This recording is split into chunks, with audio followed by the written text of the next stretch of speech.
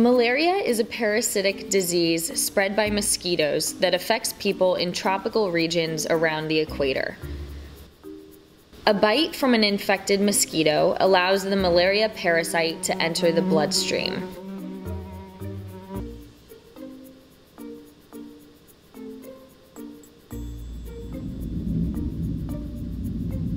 The parasite then infects red blood cells, consuming hemoglobin once inside. Digesting hemoglobin produces a byproduct known as heme, which is harmful to both the parasite and the host red blood cell.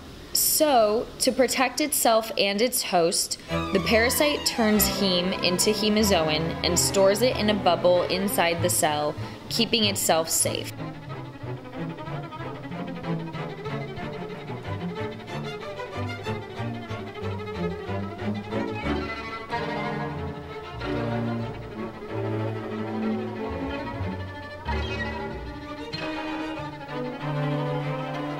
When there is no more hemoglobin to consume, the red blood cell pops.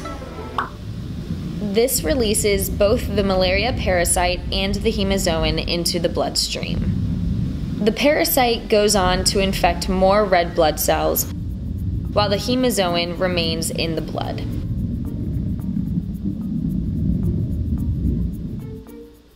Now, with our device, the presence of hemozoin can be used to diagnose patients with malaria earlier than currently used detection methods.